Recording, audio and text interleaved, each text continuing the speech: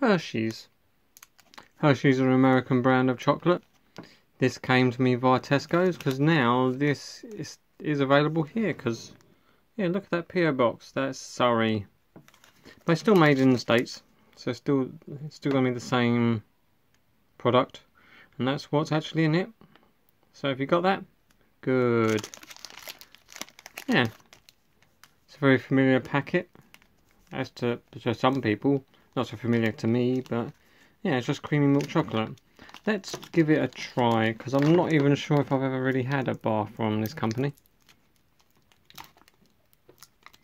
Not sure. May have done, I just can't remember. I know I wouldn't have had it as a kid, because it wasn't really a, a thing. At least here. At least here. And as I said, I think I said I got this from Tesco. I'm not sure. Oh, that's a nice crack. Let's just break off a piece. I was hoping to see... Yep. So it's got Hershey's written through it.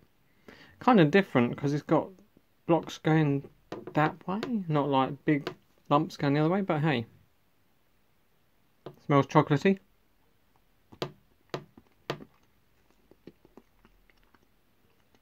Tastes chocolatey.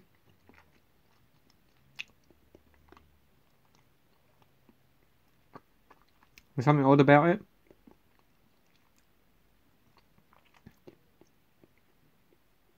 It's alright. It's just something odd. Maybe it's my sensibilities to chocolate.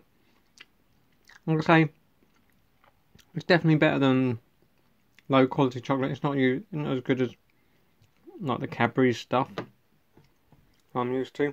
Obviously argue amongst yourselves about what's happened with Cadbury since the big takeover thing, but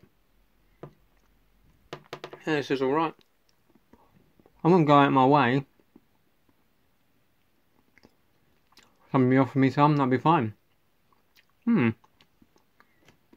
Hmm. Yeah, that's alright. So, in the comments below, if you're... Tell me if you've had this before. Especially if you're not in the US. Hmm. And tell me if you've got any recommendations. for Things for me to try. I might get around to them at some point. Maybe. Possibly. I'll try. I'll see what happens.